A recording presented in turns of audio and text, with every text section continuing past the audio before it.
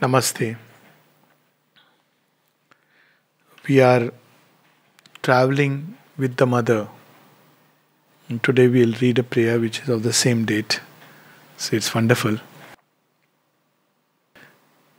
March 9th, 1914.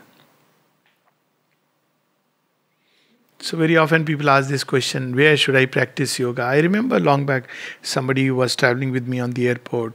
He asked some senior sadhak that, you know, should I be in the ashram or outside to practice the yoga? And I don't know for what reason, but the senior sadhak told him, Where else can you practice the yoga? I didn't find the answer very convincing. Though I am in the ashram, I have lived outside and practiced the yoga. This yoga can be very well practiced outside. This is absolutely misconception that you have to join the ashram or be in Pondicherry to practice. Definitely, being here offers you certain advantages. That's the other side of the story. You have the samadhi, most importantly. So it's much easier to connect. But this doesn't mean that somebody elsewhere cannot practice the yoga. Yoga depends on what you are within. So, when mother was asked this question by someone who had come from abroad and he was not sure what I should do, be here or the world. But Again, uh, mother's answer, we should not turn into dogmas. So he asked the mother, Mother, this question is within me, whether I should be here or in the world. So the mother says, very beautifully, she gave a reply The divine is everywhere and the world is everywhere.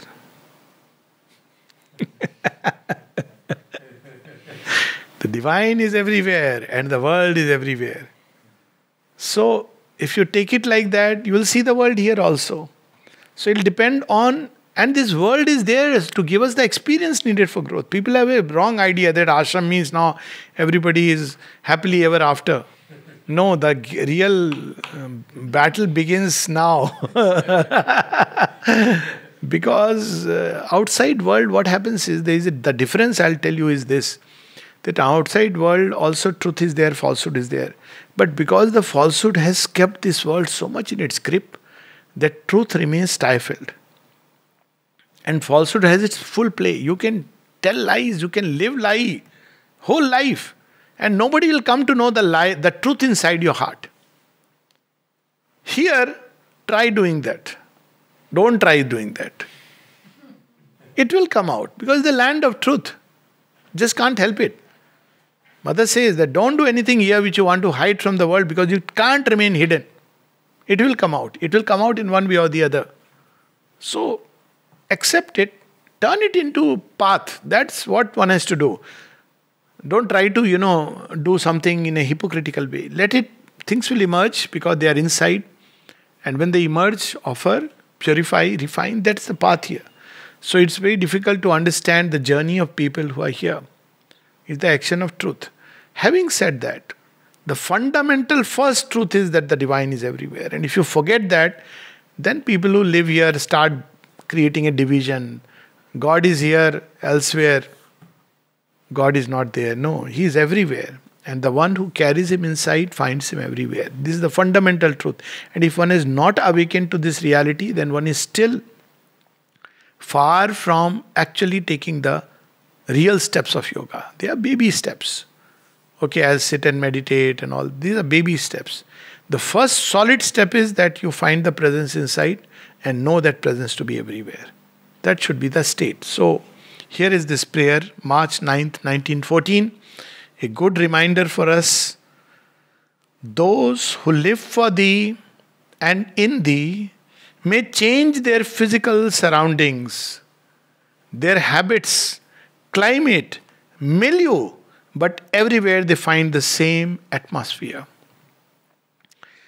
The other sutra which comes from this is create your own atmosphere. The mother speaks of this create your own atmosphere. So people say, Oh, I don't like this person's atmosphere, that place atmosphere. That means they are still susceptible to things which are in the atmosphere. Of course, if you are susceptible, better to know that you are susceptible. But ideal is, you know, when mother spoke about contagion, she said, This world is full of contagion. She speaks about the ignorant bad will, ignorant goodwill, which becomes a bad will. But she says, So what will you do? She says, I am not saying you shut yourself in an ivory tower but go everywhere but carrying your own atmosphere. That is the way yoga is done in the world. It's not like mixing, mingling anyone and everyone. It's to stay in that constant state, like Meera, like Prahlad. That's also, they have done yoga in the world only. They lived in the world, but they carried that atmosphere inside. And it is said that so, so powerful was the atmosphere that even if a snake came, he would not, you know, the, the it's a legend that it turned into a, um, you know, garland of flowers. But the essence is this that in the atmosphere of such a person, even if something comes which is uh, dark, it will change because that atmosphere is there. I remember one incident in uh, Patiala where we were, you know, working together, a team of us, and we wanted to put up a. This was, I think, 1986 or 87. 87. Yeah. So we were uh, putting up a play on uh, from the mother, virtues for Sri birthday, 15th August, 87. But uh, it was that time the peak of militancy and curfew and all these things. So um, terrorists don't want to, you know, that you have Sri Aurobindo's birthday. And they didn't look at it at Sri Aurobindo's birthday. Sri Aurobindo's birthday is still okay. Independence Day, according to them, 15th August, you can't celebrate. So one of them came to my house to threaten. He said, See, I have heard, don't do this. And uh, I was away on duty. My wife was there alone. And then she called, so I came came there. I had come for dinner. So he said, I said, see, whatever you want to do, you can do. We are children of Mahakali. We are not afraid of doing things. What is the right thing, we'll do. You also come. So he went away in whatever threatening gesture. So people told, don't do it, call police. I said, no way. That time, you know, why police? When the Lord is there, that flaming faith. So we had the program, and six of them came. So they kept, and you know, some people, I said, just carry on, pray and do. They came, stood there for some time. Maybe they got totally confused. Sincerity, virtues, whatever it be, something happened and they went away. Afterwards, we realized one of them, the person who had come to threaten, he actually became a devotee. after some years from there, when I went to Pune for my MD, after one and a half years, I get a letter from this man. He said, in his broken English, he could hardly, you know, that I am grateful and I am sorry and I apologize. Then I came to know this man, and when Aurobindo relics came, he did a funny thing. He actually ran away with the box, saying ki Babaji, my Babaji also. then they had to trace him. A lot of fun things happened. But what I'm saying is the power of the atmosphere. This what she is revealing to us. Create your own atmosphere. It doesn't matter where you are. You become the temple. You become the Lord's presence, carrying Him, rather than being affected by the things around. So here she is saying, those who live for thee. So what is the condition? It's not like suddenly I'll go there and you know do something. Those who live for thee, their life is meant for the divine. And in thee may change their physical surroundings, their habits, climate, milieu, but everywhere they find the same atmosphere. But the precondition is live for the divine and live in the divine. This comes with practice. They carry that atmosphere in themselves, in their thought constantly fixed on thee. So they are thinking of the divine. So it doesn't matter whatever comes, because these are occult worlds, no? And it helps. But Mother has said, when if you are in that state, even if an assassin comes to you, the arm of the assassin will fall away. But she said, but it should not be that you are living in something and you're you're trembling with fear outside. You are absorbed in that beauty and beatitude. Everywhere they feel at home. For everywhere they are in thy house. Everywhere they are comfortable. Why? Because they own nothing. So there is a very nice word in the Gita. It took me this this word had puzzled me. Some of the words used to puzzle me. One of them was Sarva Sankalpa Sannyasi. So if you don't have any will, I can understand that without desire. But if you have no will, how do you act? And then I understood what it means, Sarvasankalp Sannyasi is the divine acts through you, impels you, not only executes, but initiates the action. And the second one was Aniket. So Aniket is without a house.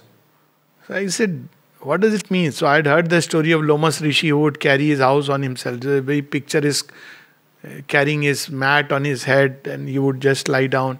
Eh, this is not, not a good thing to do, you know. it's okay, but I didn't. What Aniket means without a dwelling place. Aniket means this that you don't own any house as your own, but every house is the divine house, and therefore it's your house. One of the examples of this is Swami Vivekananda. When he went to America, people didn't understand his life. Even there were some people would complain, you know, he stays in house, sometimes alone, some American woman, fair woman, and he stays there for some days. So when it was asked to Swami Vivekananda, he said, Yes, what is the problem? He was like that. Yes, I stay there. I mean, his heart is so free. But nobody could understand that he's a sannyasi. He's a true sannyasi. He's unaffected. So many people's houses he stayed. Even then, when he went on the yatra in India, so that consciousness of the Lord in which we start living, then every house becomes your house. You're comfortable. Not because of the person, but because of the person who is with you, with a capital P. No longer do they marvel at the novelty, unexpectedness, picturesqueness of things and countries. Oh, this is a wonderful place. Oh, this house has so many gadgets. It's okay, fine, but that's not the important thing. Important thing is something else. For them, it is thy presence that is manifest in all, and thy unchangeable splendor, which never leaves them, is apparent in the least grain of sand.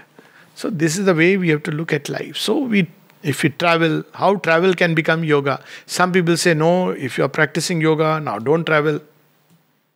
Don't go out. If you go out, live in somebody's house who is a pure vegetarian. All these things are there, no? Prescription, prescriptions, wear this cloth, this dress, eat this, don't eat this. But she is simplifying it. Actually, the yoga has been extremely simplified. People say it is complicated. It's the simplest of things. You don't have to find out acha, the place where he's going. Is there a Brahman Rasoya? Hmm, this used to be if a Brahmin is going to somebody's house, not only the person should be Brahmin, is the person who is going to cook, he should be a Brahmin. And if he is going to some other, you know, Kshatriya or some place, Brahmin must cook. Even if you go to a public party, who is the cook? If the cook is a Brahmin, he may be the worst man on earth. But Brahmina, Brahman ke haath ka bana hua khana. So Brahmins, naturally, when they started cooking, ultimately they started eating. So the only thing left about Brahmins was their big paunch. And uh, unfortunately, had started getting empty because you know you have a choice. but that apart, the point, you know, good guys, they maintained something still till date. But the point is, all that is not important. People ask in this yoga when vrat upas, not important. So, what is important? Only one thing is important. Live always as if you were under the eye of the Divine Mother. Carry her presence with you. This used to be, I have heard this, and so beautiful when people come and go away. So, old time, couple of sadhaks used to say this. People would feel sad when they are going and things like that. So they would smile and say, Carry mother with you. Later on, I modified this. I said, You know, mother is carrying you. That was my modification. You are not carrying mother, mother is carrying you. So wherever you are going, she is carrying you. It's an experience to be had, especially when you come and go, you can, you know, very concretely have this experience. The whole earth chants thy praises. Whole earth, not just one place, that place. In spite of the obscurity, misery, ignorance, through it all, it is still the glory of thy love which we perceive and with which we can commune ceaselessly everywhere. So she is not oblivious to the glory, to the misery, to the ugliness and evil. She's not blind to that. That whole earth chants thy presence, is not a sentiment. It's a fact of experience. So, what does she see when she sees all this ugliness? She sees the divine love. So, earlier when I used to come, you know, you have all kinds of people everywhere. So, people would often say, you know, but this person who is living in the ashram, who is like this, like that. I said, you know, look at it the other way. Look at what kind of divine love mother brought with her. That she is, you know, literally accepting all kinds of people. And once she accepted completely, it was no more like people could say, now, you know, he's this or that. Once accepted, mother says, I feel myself uh, responsible even for those who have revolted and gone away from here. I hold myself responsible for them. Even those whom I have seen for a moment, he is finished for lives. These are her words. For a moment, that's all. He's finished. The seeing is not like now, where is she? This is uh, idiocy. How does she see? You will feel it.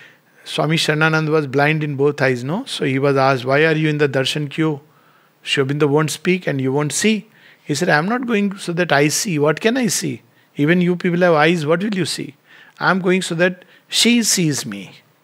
They their gaze falls upon me. So when she has seen, that's it, finished after that. She holds herself.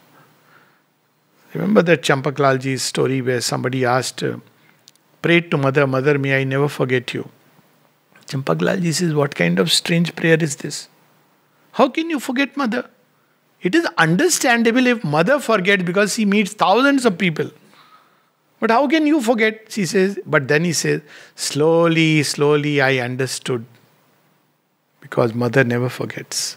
It's so true. She would never forget. You see through her, I don't know how she never forgot people whom she has met and she could recount the entire details. How she was having that. It's not memory, it's through the inner contact that they knew and they carried. So, this is the, but look at the steps of the journey through which one has to pass. She could take the whole world as her family because she, wherever she went, she found it to be the divine, divine family. So that is how she could build it here. On that realization basis, basis of that realization, you can make it manifest here, not otherwise. So she sees the divine love everywhere. O Lord, my sweet Master, all this I constantly experience on this boat, which seems to me a marvelous abode of peace. Temple sailing in thy honor over the waves of the subconscious passivity. This is a perfect image. You know, you have images in the Gita, people often, Upanishad, they will speak about it. Rath. Now, you know, many youngsters don't know what is a Rath. Very difficult to connect, no? घोड़ा पाँच घोड़े वाला रथ कहाँ है so see how now modern times if you see progress, you will not see as ever Rath. You will see either a boat or a ship or a aircraft or a spacecraft or a cycle or a scooter or a car. This is how you will see the image because it has to be. So she is giving the image of a boat on the subconscious waves. Subconscious passivity which we have to conquer and awaken to the consciousness of thy divine presence. So, what is the subconscious passivity? It lets us as the mercy of every force. It just allows everything to enter, saying that all is divine, everything is fine. It doesn't resist, it doesn't know how to say no. One of the most difficult lessons of life is to learn to say no. Yeah, very important. I have learned it after much pain. You have to know. You have to know how to say no. Because otherwise, we'll be prey and slave to everything. Subconscious passivity. That passivity is what is tamas. It ties us to the past habitual patterns. So she says that it is a temple and there is the subconscious passivity which we have to conquer and bring into it the divine presence. Blessed was the day when I came to know thee, O ineffable eternity. Now look at the paradox. She is finding the divine everywhere, but she is not saying that it means everything you just mix up and say all is God. Not in that sense. She knows there is ugliness, she knows there is divine love. She knows that there is subconscious passivity which has to be conquered. But look at the boat becomes the marvelous abode of the divine peace. Blessed among all days be that day when the earth at last awakened shall know thee and shall live only for thee. So the divine presence is everywhere, but the tragedy of life is that human beings are not conscious. That is also not a tragedy. The tragedy is they don't want to be conscious. Or a still greater tragedy, they resist the awakening. They deny the presence by which we live. That is the tragedy of life. So, she says the divine presence is everywhere. But she is praying, aspiring. Subconscious passivity is carrying the earth. So she is aspiring that the day will be blessed when one day man will awaken to the divine presence. That contains the secret. People often say that you know a day should come when everybody should be happy, whatever it means. Everybody, there should be unity, no strife. Yes, but how will you bring it about? By change of government, it won't work. By adopting some penal code, it won't work. Reason has tried to organize society on these ways, it won't work. The only way one can do it is by awakening the divine presence. Rest will happen automatically for the truth to manifest. So she is giving us the clue to be in the world and yet not of the world. She is also giving us a clue to change the world. The world will change when at least humanity, other creatures, man is given to be the link, at least a sizable section of humanity, maybe small in number, but doesn't matter. One number of people, maybe 2,000, 10,000, enough, who become conscious of the divine presence wherever they are. The rest will be taken care of. It didn't need all the monkeys to become man. But some monkeys did a sandhi with the Lord. Sugriv shook hands with Rama, sandhi. It needs some monkeys to say that we want to yoke ourselves to the Lord, and that's enough. So that breakthrough and the crossover took place. So there is need of such people who can awaken to the divine presence wherever they are. And it's they who will change the earth, and they are the ones who are the future of the world. So I'll read this prayer again, then we stop. March 9th, 1914. Those who live for thee and in thee may change their physical surroundings, their habits, climate, milieu Look at the plasticity. Surroundings, habits, eating, and everything. Milieu, different types of people. Plasticity that is needed. Wideness and plasticity develops through travel. One thing is for sure. Because you grow wide, you're meeting different kinds of people. And plasticity, because you know, these ideas, fixed ideas about food, about people, about dress, everything is smashed. But everywhere they find the same atmosphere they carry that atmosphere in themselves, in their thought constantly fixed on thee. A corollary is that wherever you may go, you will carry your atmosphere. If your atmosphere is full of bad will, you will go and stand in front of the Lord and think this fellow is thinking about me, trying to harm me. That other fellow, he's a bad guy. Why? Because it's our own atmosphere we carry all around. So, most important is to create your own atmosphere. Everywhere they feel at home, for everywhere they are in thy house. No longer do they marvel at the novelty, unexpectedness, picturesqueness of things and countries. For them, it is thy presence that is manifest in all, and thy unchangeable splendor, which never leaves them, is apparent in the least grain of sand. The whole earth chants thy praises in spite of the obscurity, misery, ignorance. Through it all, it is still the glory of thy love which we perceive and with which we can commune ceaselessly everywhere. She is not giving an advice to mix with freely with here and there. She is saying, be conscious of the divine presence wherever you are. That's all that is required. Live in that presence and live for that. So it doesn't matter. Then you are perceiving that divine love. So because it starts by those who live for thee and in thee. O Lord, my sweet Master, all this I constantly experience on this boat, which seems to me a marvelous abode of peace, a temple sailing in thy honor over the waves of the subconscious passivity which we have to conquer and awaken to the consciousness of thy divine presence. See, this is the way to live in a house. Whose house is it? Divine's house. You know, ashram, 1951, after Sri Aurobindo's physical departure.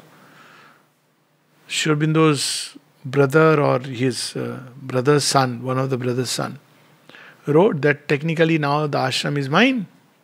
All property is in Sri name. So I can stake claim. So everybody was all shaken legally. So they went to mother. Mother, this is the letter. He wants to come and he stakes claim on the property. You know, mother's answer. She didn't say, Oh, call up, find the lawyer in Supreme Court, we'll fight it out. How can he do this? Satyamev Jayate. Nothing. She laughed and said, Tell him to come and take over. It's not such a power in that. Tell him to come and take over. He wants to take over. No, tell him to come and take over. But to her own son, she writes, you know, though things are in my name, it was later on transferred. But you know, actually, they all belong to Sri Aurobindo. It doesn't matter where one is, how one is. That state one should enter into. The important thing is not that half a practice is not enough, that I'll go anywhere and everywhere.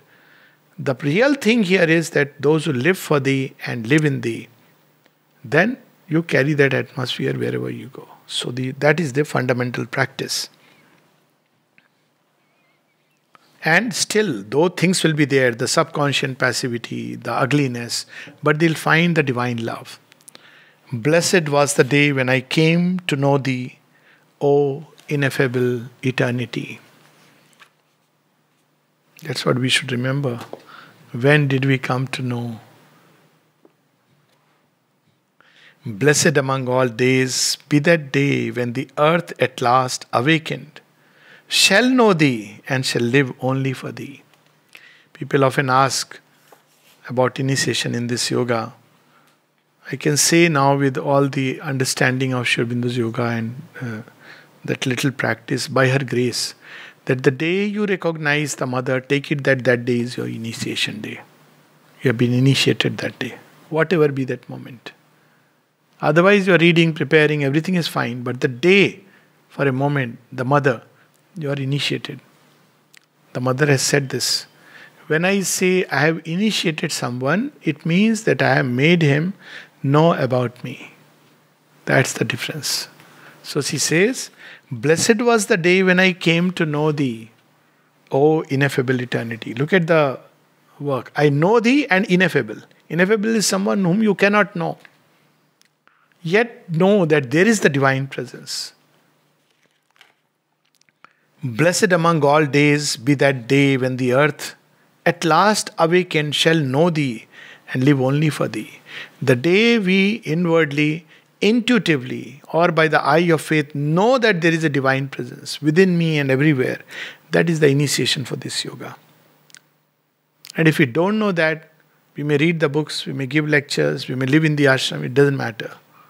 We are still apprentice, toddlers on the path.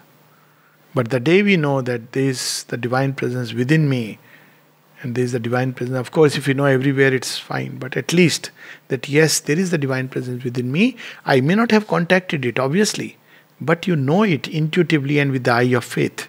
Then it is a blessed day, the day when the journey has truly begun in the true sense. Because after that, it's no more that we go alone.